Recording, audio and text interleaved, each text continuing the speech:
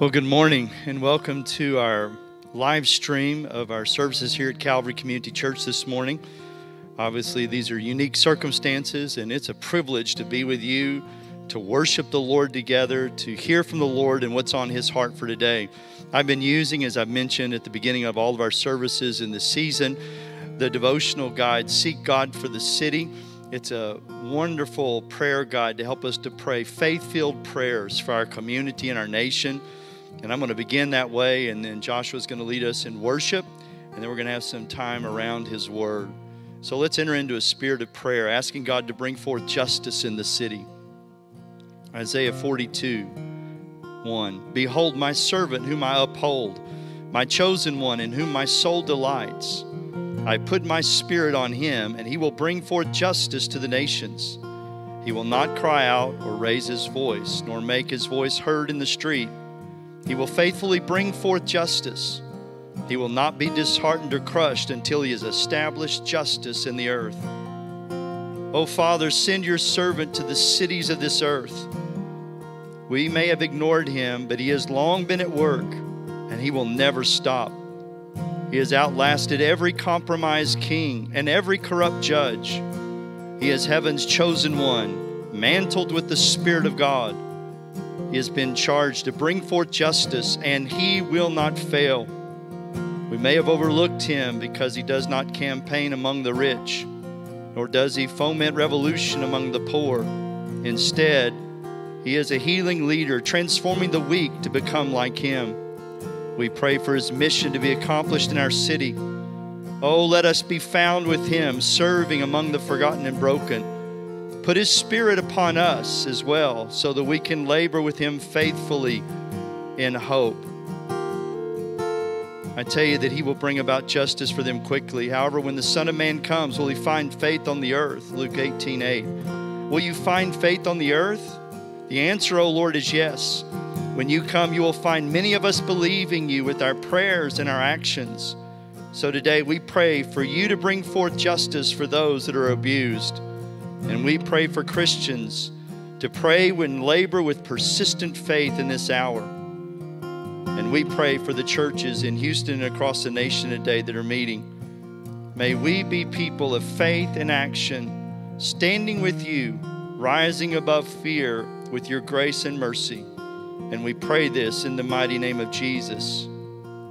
Amen. Let's worship together.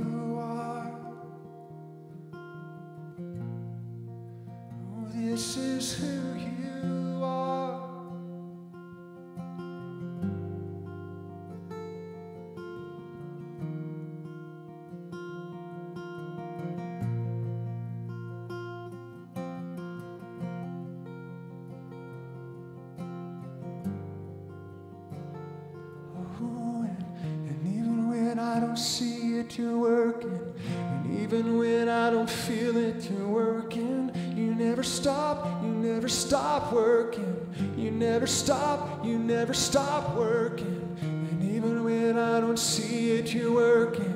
And even when I don't feel it, you're working. You never stop, you never stop working. You never stop, you never stop working. So I'll never stop singing. I'll never stop praising.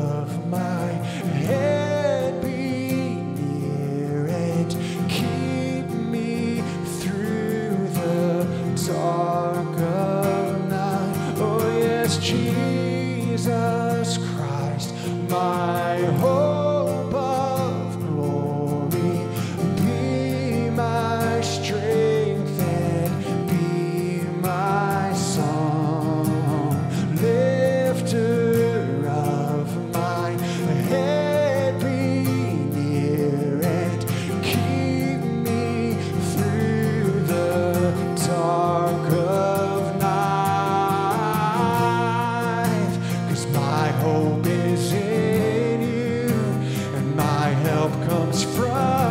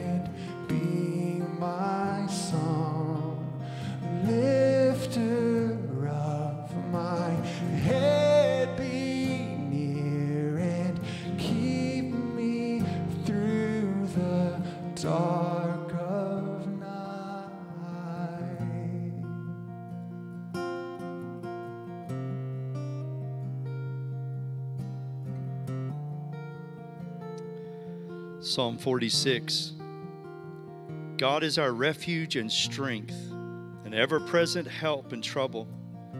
Therefore, we will not fear, though the earth give way and the mountains fall and the heart of the sea, though its waters roar and foam and the mountains quake with their surging. There is a river whose streams make glad the city of God, the holy place where the Holy One dwells. God is within her, she will not fall. God will help her at break of day. Nations are in an uproar, kingdoms fall. He lifts his voice, and the earth melts. The Lord Almighty is with us, the God of Jacob, he is our fortress. Lord, again, we join with other saints from across the globe today to worship you, to declare that you're our hope of glory, you're our faithful one, you're our refuge and strength. You are with us, even in trials and tragedies and difficulties. And Lord, this morning we choose not to fear. We choose to come to you. And we choose you because you have chosen us. We declare that you're the Lord Almighty that you are with us. We declare that a mighty fortress is our God. Lord, we bless you this morning. May you be exalted here. May you be exalted across this planet today. And may you be made known for who you are in every way. We pray this in the name of the Father and the Son and the Holy Spirit. Amen. Thanks, Joshua. Well, this is a unique opportunity for us. This is our first live stream. And so we're actually believing that God has opened up a door for us, one of the redemptive opportunities in the midst of dealing with the coronavirus. And so I have posted on our website an explanation of what we're doing today. Um, obviously, there has been an appeal that has been made by our leaders in our community and across the nation and to honor them and to express solidarity with other believers and other churches. We're doing church by live stream today, so that's what we're doing today. And we've entered into this time. Again, it's a step of obedience, it's not out of fear. And you can read all about that on our blog at calvaryhouston.com. And we've posted that on social media and other ways. Um, and this is a learning opportunity for us, by the way. I don't know how the, the live stream is going. I hope it's going really well. But we're learning like we couldn't get our YouTube to work this morning, but we at least have Facebook, and then we'll do better next week. So it's a great learning opportunity. I want to make some announcements, just make you aware of some things. So, first of all, uh, we're not having services live this week or next week. We're doing them on the internet. So, again, next Sunday morning, we'll be doing that. So, from Monday through next Saturday, we actually have a rest week. That's what we call those times when we take off from all of our different meetings and our different plans scheduling. We do that occasionally, but this time uh, we're doing that uh, purposefully here, uh, dealing with the coronavirus. So we're not having any ministry activities or special events or meetings this week, this coming week. We'll have another online service on Sunday, March the 22nd, instead of gathering here at Calvary. I want to let you know that we have a workday planned as we get ready for Easter. That has been rescheduled from Saturday, March the 21st. We've rescheduled it to March the 28th. And by the way, the ladies are still having their ladies' retreat on March the 28th, so you'll want to sign up for that. And I want to encourage you to be faithful in your tithes and offerings in this season. You can give through our website or you can write a check and mail it to the church the old fashioned way, whatever you want to do. But I want to encourage you to be faithful in your tithes and offerings. One of the things that we do in our services is we actually build in times to pray for other churches. Today, we're praying for First Metropolitan Baptist Church and their pastor, Pastor John Ogletree.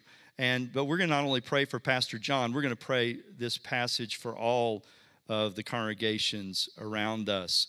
We pray that the God of hope would fill this congregation with all joy and peace as they trust in him so that they may overflow with hope by the power of the Holy Spirit.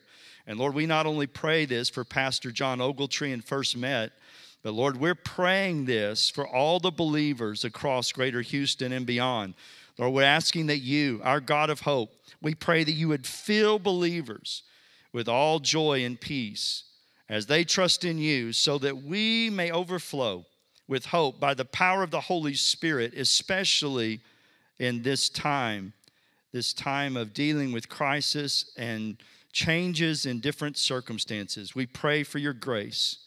And we pray this for Pastor John Ogletree and First Metropolitan Baptist Church, and we pray this for the believers here in our city and beyond, and we pray it in the mighty name of Jesus.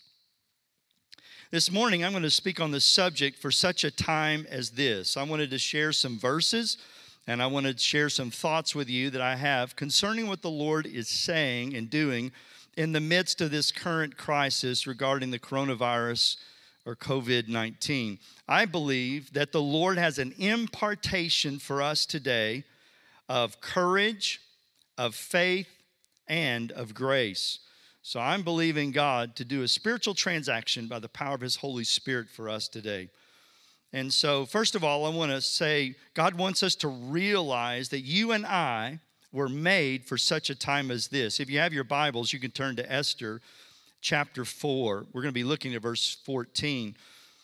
And then um, we'll read that in just a minute. But I also want to reference Acts chapter 13, verse 36.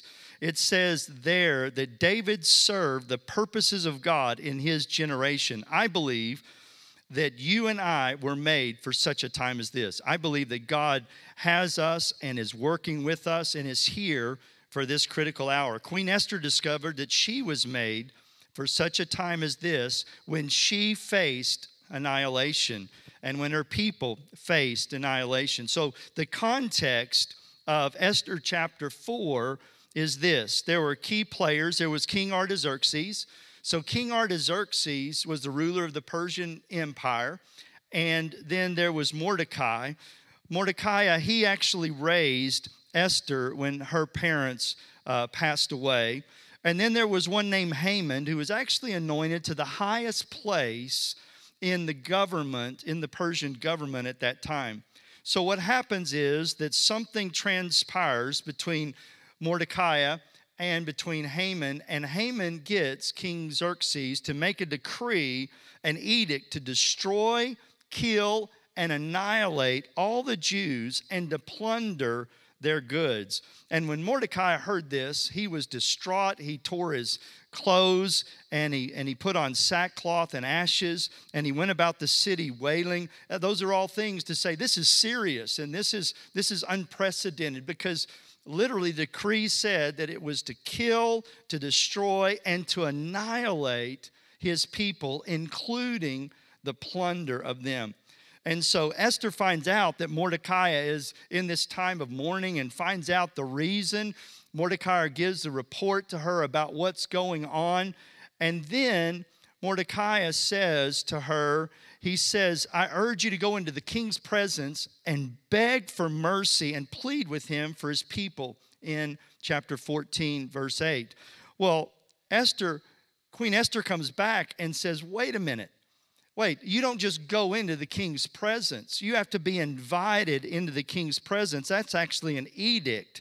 And to go into the inner court without being summoned is a death sentence unless he has mercy and extends his scepter to spare your life. She said, It's been 30 days since I actually went and into the court to see the king.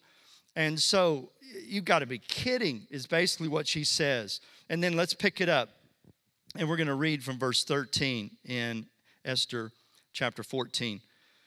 He sent back this answer to Esther Do not think that because you are the king's house, you are alone of all the Jews, you alone of all the Jews will escape. For if you remain silent at this time, relief and deliverance for the Jews will arise from another place. But you and your father's family will perish. And who knows but that you have come to this royal position for such a time as this. And so that word of encouragement transformed Esther. She went from being scared and being reticent to get in action to asking Mordecai and, and to communicate to all the Jews that we need to, to, do an absolute fast, three days, no food and water, and y'all pray with me. And she said, I'm going to go to the king even against this law. And she says, If I perish, I perish. But, but Mordecai carried out her instructions, and God gave her favor. We read the rest of the story. According to Jesus in Matthew chapter 5, verse 13 to 16, and in many other verses, it is it is our lives. We are actually created for such a season as this, for such a time as this. And it's our time to preserve and to season like salt. It's our time to shine. It's our time to share good news. It's our time to pray. It's our time to stand in the gap. It's our time to do warfare, to love, to serve, to lay down our lives, and to point people to the one who is our hope, our Redeemer, our Savior, our Deliverer, our Champion, our Healer, our resurrected Lord, and our soon coming King. Oh, I believe that you and I were made for such a time as this. And I also believe that this is an opportunity to learn how to exercise our faith and our courage muscles right now. I think that we have faith muscles. I think that we have courage muscles. And I think that God wants us to develop those. It's just like our physical body. You have to, you have to get into an exercise program or you have to do some things, or our muscles atrophy or we become weak or they don't do what they should. We need to learn to exercise our faith and our courage muscles now because we're going to need those muscles when things really ramp up. In other words, we've not seen anything yet. Now, I don't mean that to discourage us, and I don't mean that to condemn us, but I do want to challenge us. According to Jeremiah chapter 12, verse 5, Jeremiah chapter 12, verse 5, we need to grow our faith and courage muscles because God says if you can't keep up with the footmen, how are you going to keep up with the horses? We read in Jeremiah 12, 5 If you have raced with men on foot and they have worn you out, how can you compete with horses? And if you stumble in the safe country, how will you manage in the thickets by the Jordan? I like how the message translation communicates the meaning of that passage. It says, So, Jeremiah, if you're worn out with this foot race with men, what makes you think that you can race against horses? And if you can't keep your wits during the times of calm, What's going to happen when trouble breaks loose like the Jordan in flood? And again, we've been talking from Matthew chapter 24 for the past couple of weeks. In that passage, the Lord says at the end of the age that there's going to be an acceleration of different trials, tests, and troubles. And the scripture says starting in verse 6 of Matthew 24, you're going to hear of wars nearby and revolutions on every side, with more rumors of wars to come. Don't panic or give in to your fears, for the breaking of the world system is destined to happen. But this is not the end, it's just the unfolding. Nations will go to war against each other, kingdom against kingdom. There will be terrible earthquakes, seismic events of epic proportion, horrible epidemics, and famines in place after place. And this is how the first contractions of the birth pains of the new age will begin. Or the NIV says, this is just the beginning of the birth pains. You can expect to be persecuted, even killed, for you'll be hated by all nations on account of your love for me. Then many will stop following me and fall away, and they'll betray one another and hate one another. And many lying prophets will arise, deceiving multitudes and leading them away from the truth. There will be such an increase of sin and lawlessness that those whose hearts once burned bright with passion for God and others will grow cold. But keep your hope to the end, and you will experience life and deliverance. Yet through it all, this joyful assurance of the realm of heaven's kingdom will be proclaimed over all the world, providing every nation with a demonstration of the reality of God. And after this, the end of the age will arise. So I believe the Lord wants us to learn to exercise our faith and courage muscles now. Let's practice now because things are going to ramp up in the coming decades, the coming years, and, and we need our faith muscles and our courage muscles for that. Then, number three, practice casting all your anxieties and concerns upon the Lord. This is from 1 Peter chapter 5, verse 6 and 7. Practice casting all your anxieties and concerns upon the Lord. This is what the scripture says in 1 Peter 5 6 to 7. Humble yourselves, therefore, under the mighty hand of God, that he may lift you up in due time. Cast all your anxiety upon him because he cares for you. And I like how the Amplified kind of amplifies this verse and kind of helps to give some meaning to it. Cast the whole of your cares, all your anxieties, all your worries, all your concerns, once and for all on Him. For He cares for you affectionately and cares about you watchfully. In this time of trial and trouble, you and I can trust the Lord. We can depend on Him. We can bow and surrender to His ways and to His wisdom and to His timing we can make a choice. We can choose to believe that He cares for you and He cares for me. And one of the ways that we humble ourselves is by choosing to cast our anxieties upon the Lord through prayer. We can make this declaration through our prayers of what God says. So I believe that God wants us to practice casting all our anxieties and all our concerns upon Him. Then 40, Psalm 46 has been an important passage for me in times like this. We need to declare that God is our refuge and strength, a very present help in trouble. Psalm 46. Declare, declare over your life, declare over your family, declare over our city, declare over our nation, this planet. God is our refuge and strength. He is an ever present help in trouble. Let's read Psalm 46 together. God is our refuge and strength, an ever present help in trouble. Therefore, we will not fear. Though the earth give way and the mountains fall into the heart of the sea, though its waters roar and foam and the mountains quake with their surging, there is a river whose streams make glad the city of God, the holy place where the Most High dwells. God is within her, she will not fall. God will help her at the break of day. Nations are in uproar, kingdoms fall. He lifts his voice, and the earth melts. The Lord Almighty is with us. The God of Jacob is our fortress or our stronghold. Come and see the works of the Lord, the desolations he has brought on the earth. He makes wars to cease and the ends of the earth. He breaks the bow and shatters the spear. He burns the shields with fire. Be still and know that I am God.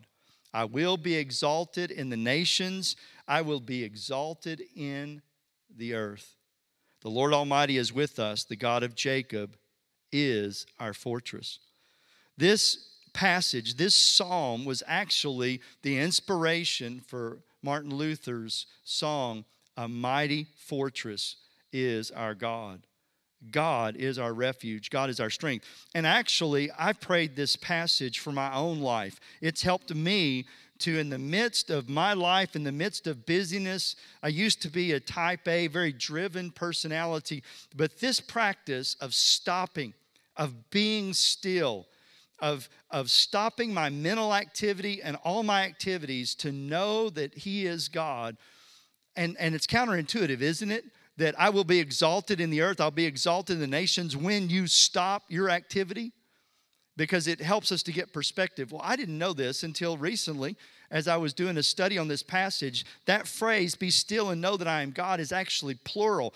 The Lord is actually speaking to the nations that are in uproar, to the nations that are all messed up, and He's actually speaking to the nations. Think about that. Be still and know that I am God. I will be exalted in the earth. I will be exalted in the nations. And so we declare today that our God is a mighty fortress. Psalm 46 is a passage that I just go to regularly in the midst of any type of crisis or difficulty or trial. It just breathes strength and courage to me. Another psalm that I use is Psalm 91. I want to encourage you to pray Psalm 91 over your life, your family, and your community. I want to encourage you to pray Psalm 91 over your life, your family, and your community. Let's look at a few verses from Psalm 91, verses 1 to 6. He who dwells in the shelter of the Most High will rest in the shadow of the Almighty. I will say of the Lord, He is my refuge and my fortress, my God in whom I trust. Surely He will save you from the fowler's snare and from deadly pestilence. He will cover you with His feathers, and under His wings you will find refuge. His faithfulness will be your shield and your rampart. You will not fear the terror of night, nor the arrow that flies by day nor the pestilence that stalks in the darkness, nor the plague that destroys at midday. Skip down to verse 14. Because he loves me, because she loves me, declares the Lord, I will rescue him. I will protect him, for he acknowledges my name. He will call upon me, and I will answer him, and I will be with him in the day of trouble. I will deliver him and honor him. With long life, I will satisfy him and show him my salvation. The Lord wants those words to not just sit in our brains or sit on the surface of our ears. He wants those words to go deeply into our hearts, into our spirits. I will rescue you, I will protect you because you acknowledge me, because of our relationship. When you call upon me, I will answer you. I will answer you in the day of trouble. And this is such a day, isn't it? Such a day of testing and trial and trouble. I will deliver you. I will honor you. I will satisfy you with long life, and I will show you my salvation. He is our Savior. Psalm 91, I just encourage you, pray that, declare it over your life, over your family, over our community. Speak these words and ask the Lord to stand with us and to fight for us. Joshua chapter 1, verse 6 to 9. God wants us to be strong and courageous because the Lord is with us wherever we go. The Lord wants us to be strong and courageous because our God is with us wherever we go. We'll read that together, Joshua 1 6 to 9. And again, we're reading these verses because this is what the Lord says in times of trial or difficulty, balance, uh, battles, and challenge. These are things that God wants to be making up who we are, to inspire us. He wants to impart to us today faith and courage and grace. That's why we're reading these verses because faith comes by hearing and hearing by the word of the Lord. And we're praying, even through a live stream, that there's a transaction between God, between God the Father and the Son and the Holy Spirit and you. The Holy Spirit is speaking to us today and meeting with us. And I pray that you will receive faith and courage, grace and strength today. Joshua 1 6 to 9. Be strong and courageous, because you'll lead these people to inherit the land that I swore to their forefathers to give to them. Be strong and very courageous. Be careful to obey all the law that I gave my servant Moses and he gave to you. Do not turn from it to the right or to the left, that you may be successful wherever you go. Do not let this book of the law depart from your mouth. Meditate on it day and night, so that you may be careful to do everything written in it. Then you will be prosperous and successful. Have I not commanded you? Be strong and courageous. Do not be terrified. Do not be discouraged, for the Lord your God will be with you wherever you go. Why did the Lord command Joshua to be strong and courageous. Why did he keep commanding him not to give in to terror and to discouragement? Because we struggle with fear and discouragement. Because it's easy to give in to fear. All through the Bible, it commands us don't be afraid. That is an open door, a highway for the enemy to torment our lives. And so, in the midst of coronavirus, in the midst of turmoil, in the midst of economic shaking, in the midst of whatever you're going through personally, I mean, with the crash of oil, I mean, prices have gone down and it's impacting our community significantly in greater Houston and in other places. In the midst of all that, God speaks to us and He says directly to you and me be strong, be courageous. Don't give in to fear, don't give in to terror. You can trust me because I'm with you. May the Lord give each of us physical strength for this day, and may He give us heart strength, courage for days ahead, for the days ahead. Another thing I think God wants us to know and wants to impart to us is He's encouraging us to live in a place of faith and wisdom in all of our responses to crisis. Live in a place of both faith and wisdom in our responses to crisis. These are not mutually exclusive. Romans chapter 14, verse 22 to 23, verse 23 actually says, Whatever is not of faith is sin. We need to be a people of faith and wisdom in our responses in the midst of crisis. Listen to this passage, Romans 14, 22 to 23, in the message translation. Cultivate your own relationship with God but don't impose it on others. You're fortunate if your behavior and your belief are coherent. But if you're not sure, if you notice that you're acting in ways inconsistent with what you believe, some days trying to impose your opinion on others, and other days just trying to please them, then you know that you're out of line. If the way you live isn't consistent with what you believe, then it's wrong. Isn't that a great way to say that passage that says, if it's not of faith, it's sin? Listen again. If the way you live isn't consistent with what you believe, then for you, it's wrong. So I believe the Lord wants us to come to a place of both faith and wisdom. I think in the midst of this crisis, there are some practical things to do. There are wise things to do. For instance, we're heeding the, uh, the appeal of government and medical officials to not gather this Sunday and next, and many others across the country are responding to that appeal to congregations.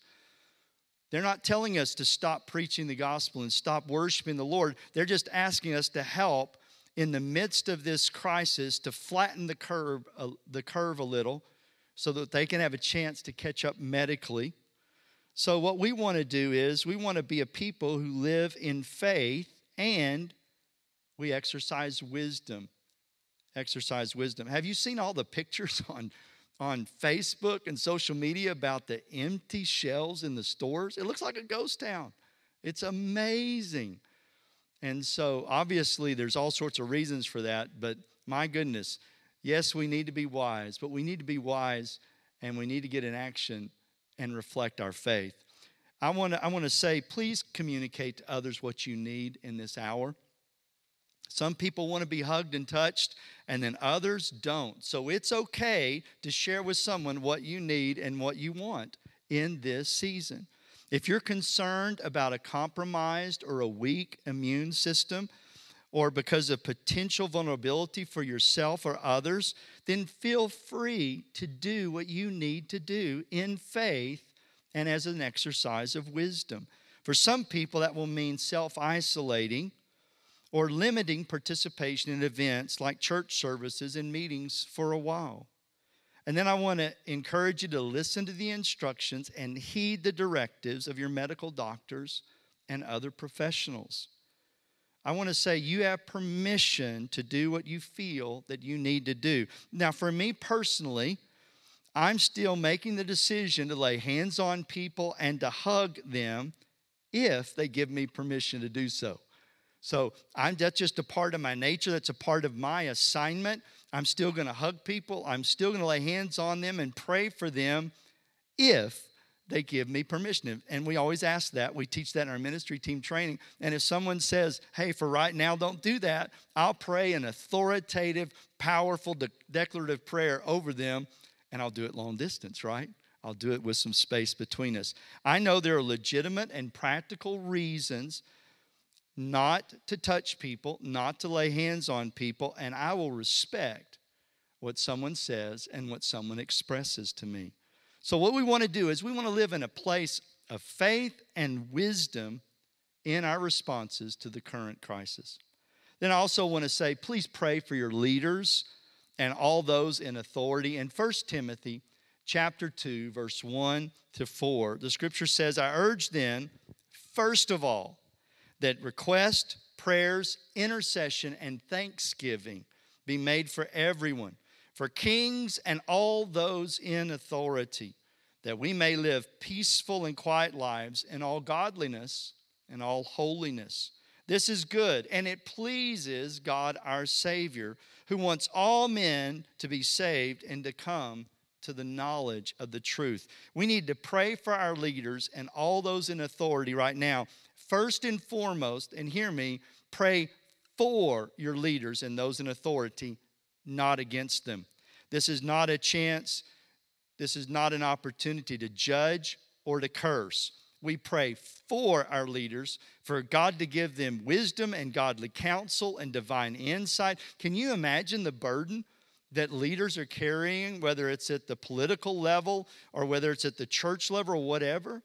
We need to be a people first and foremost pray for. Oh Lord, bless our leaders. I used to ask people to pray for me, and then I heard some of the prayers they were praying. So I began to give instruction pray for blessing, pray for anointing, pray for protection, pray for courage. You know, we want to pray for our leaders, not against them. We don't want to judge. Then I want to say in this hour, give mercy and give grace because you and I need grace. You and I need mercy. That's in Matthew chapter 5, verse 7 and Matthew chapter 7, verse 1. The scripture says in Matthew 5 7, Blessed are the merciful, for they will be shown mercy.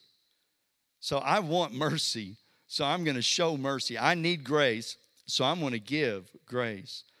Then Matthew 7 1 to 2. Years ago, Jack Deere preached a message here, and he said, I'm going to preach today on the most disobeyed passage in the whole Bible. And man, I was racking my brain. I've been I've studied the scripture since I was a little guy, and I've been a part of church services and training. And I was thinking, I wonder what the most disobeyed scripture in all the Bible is. And then he said, Turn your Bibles to Matthew chapter 7, verse 1 to 2. Do not judge, or you will be judged. For in the same way that you judge others, you will be judged. And with the measure you use, it will be measured unto you. Now, that's scary for some of us if we're critical, if we're judgmental. So, right now, I want to release lots of mercy. I want to release lots of grace. I want this to be one of my guiding principles, one of my operating principles for my life because I need mercy. I want it measured back to me. I want grace. I need it measured back to me. Then last Sunday, I want to encourage you to go back and listen to the message online about this is an occasion for our testimony from Matthew chapter 24, verse 14, Revelation 12, 11. I want to point you back to that sermon because I believe it was an important word. I think that message is very significant and very timely for us. Then I want to say something about dealing with sickness. I want to tell you treat all sickness as an enemy, stand in the gap against it, and pray the opposite of what you see. I treat sickness as an enemy. Now, hear me clearly. I'm not saying that all sickness comes from the devil or from our spiritual enemies. I'm not saying that.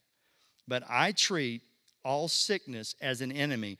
It's not a part of the kingdom of God. In the beginning in the Garden of Eden or at the end when God puts heaven and earth together in Revelation chapter 21 and 22. Jesus showed us what he does in response to disease and sickness. And so I want to say treat all sickness and disease as an enemy. Pray against it, stand in the gap against it, and pray the opposite of what you see. The Lord Jesus taught us to pray in the Lord's Prayer deliver us from evil. There is a war, there is an adversary, there are enemies opposed to us in spiritual places. God wants to show himself strong on behalf of those whose hearts are inclined toward him. Ephesians teaches us, the book of Ephesians teaches us to believe right, to live right, and to fight right. There are principles of warfare, and in my notes that I've made available online for the message today, there are different weapons that we can wield. There are different things that we can do in identificational repentance, praying out of our authority in Christ. But, but the one thing I do want to emphasize is this use the principle of replacement, praying the opposite of the work of the enemy and brokenness which you see. That comes from Matthew chapter 6, verse 10. Let your kingdom come, let your will be done in earth, in me, as it is in heaven. Use the principle of replacement, praying the opposite of the work of the enemy, whatever the enemy is or the source of the enemy, and the brokenness that you see. So if you see fear, pray for faith and courage and grace. If you see hatred, pray for forgiveness and mercy and love. Whatever you see happening, intolerance, pray for understanding and patience and grace to let others think what they feel and what they need to say, think, feel, and believe. So pray the opposite. It's, it's the principle of replacement. So, those are just some things that I think are really important in this hour. In the midst of this crisis, you and I were created for such a time as this, just like Esther, just like David, just like the apostles. And I believe that you and I were created for such a time as this. I want to close by just making some comments. I personally am concerned for those impacted by the shutdowns related to dealing with the coronavirus. I'm concerned about those who are cut off from caring people because of self isolation or from the relationships that they need. I'm concerned for those who have hourly jobs and they've lost their opportunity to work in this economic downturn, to work during this crisis. I'm concerned for those who are single parents who are trying to figure out how to manage life when their daycares are not available or the schools are not available. They're impacted by the closure of schools and daycares. I'm concerned for those who have businesses that are hurting because people aren't buying their products, aren't going to their restaurants, or aren't frequently frequenting their establishments. I'm concerned for those who have lost opportunities to fulfill their dreams, like college athletes who can't pursue their dreams in their sporting events. I just can't imagine working up to that for years and losing that opportunity. And I'm concerned for those who have traveled and who are now stranded in different places. Those are realities that we're facing. And I, I, I, don't know why, but I just feel that burden. I'm also saddened by some things. I'm saddened by people who are fueling panic with their words and their actions. I'm saddened by people who are overreacting to people who are overreacting. To overreact to someone who's overreacting is overreacting. I'm saddened by people who are looking to blame someone for what's going on. I'm saddened by those who are dismissing the concerns and the cares of others. I'm concerned for people who don't have loved ones near them, they don't have good neighbors or a loving church family to care for them in the midst of this crisis. I'm also saddened by those who are criticizing leaders and who are having just a tough time. It's a difficult time to make decisions. It's a difficult time, and there are people criticizing and condemning. I'm saddened by others who are judging people for what they think, feel, or believe, what they need to do in this hour. I'm saddened that some people are being tormented by or ruled by fear and have no source of faith, have no source of hope, have no light for what they're facing. I'm saddened by people who've lost much in the stock markets and in the collapse of oil prices, maybe even their job. Those are different things that sadden me. So there's things I'm concerned about. There are things that sadden me. They inform my prayers. But I'm also amazed at the people who look at this crisis and see opportunities, or they're being creative in the midst of very trying circumstances, and the coronavirus is an illustration. For instance, like streaming our live streaming our services. This is something I've wanted to do for years and years and years. And with Michael McGee's help and the help of others, we're doing it. I don't know how it's coming across on Facebook, and we're hoping to get up on YouTube, on YouTube, but I'm excited. It's an opportunity. I'm amazed that people are seeing opportunities like visiting places owned by or employing people from East Asia in order to show their love and support rather than being racist or judgmental. They're actually going to establishments of people from a different ethnic group, especially one that that people are making comments about and being afraid of to support the, the businesses, the employers, or the employees. I'm excited about people who see this as an opportunity to share their faith with others who are discouraged and fearful, not in a judgmental way, but in a supportive, loving, and caring way. Some people see the opportunity and they're taking the time to find ways to care for neighbors and to reach out for others. It's an opportunity for us, isn't it? Like volunteering to serve others through food distribution, through grocery shopping for them, running errands, helping at assistance ministries, or in different ways. This is an opportunity. People are being creative and being helpful in the midst of this trial. Some people are being very helpful in posting helpful suggestions and resources on where to find trustworthy information regarding the coronavirus and how to deal with it. I want you to hear that operative word trustworthy, right? Not everything you read in social media and on the internet is trustworthy. And I've got a list of some of those resources. And then some people see this as an opportunity to practice how to show up in a reflective, thoughtful way rather than being ruled by reactivity or anxiety or fear. I've even in my notes, I've given some addendums, and there's some great questions there on how to be thoughtful rather than reactive and anxious. Oh, brothers and sisters, I believe that you and I were made for such a time as this. I believe that the Lord wants us to serve His purposes in our generation, just like people of faith have done throughout history. Let's learn, let's grow, let's develop greater capacity to follow the Lord in the good times and in the hard times. Let's give grace to ourselves and let's give grace to others in this season. And let's rise up and join the Lord in His fight against evil against evil like demons, disease, and discouragement and welcome his kingdom on earth. I believe that that's what God created you and me for. And we can stand in an opposite spirit, filled with Jesus Christ, the hope of glory. You and I were created for such a season as this. Let's pray.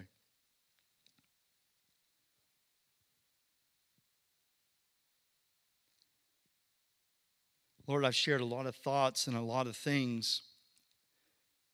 Lord, I pray not just for information, but I pray for impartation. I pray for a spiritual transaction for us that you would release by the power of your Holy Spirit faith and courage. I pray that there would be grace circulating in our lives. I pray that you would cause us to overflow with hope by the power of the Holy Spirit.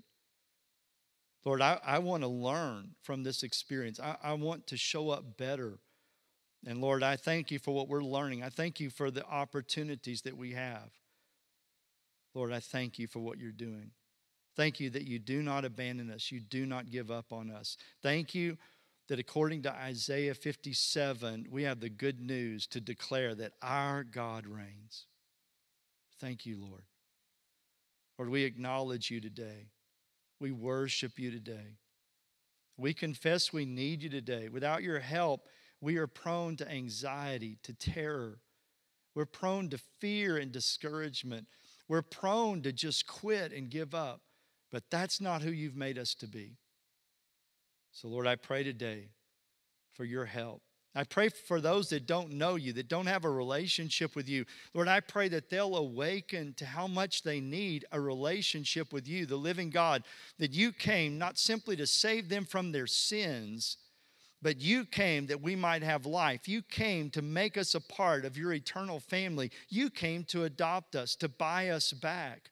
You came to make us kings and priests to serve our God. You came that we might have relationship with God our Father, with the Lord Jesus through the Holy Spirit. Now I'm praying that people in this hour will hear the good news of the gospel, the kingdom of God, and respond. Lord, I'm praying for that. Lord, I'm praying that we will be agents of blessing. Agents of blessing. Thank you that we were made for such a time as this. We worship you. We love you and we bless you. Father, Son, and Holy Spirit, in whose name we pray. Amen. I want to say thanks again for joining us for this live stream. We'll be back next week. The notes are online. I pray that you'll take some time to connect with people. I gave some ideas in the information that I post on the website and in social media, maybe some ways to connect with people remotely to process what we've shared today. And I pray that you would have an impartation of strength, grace, and mercy, and that you'll be an agent of the kingdom of God in this hour. In the mighty name of Jesus. Amen.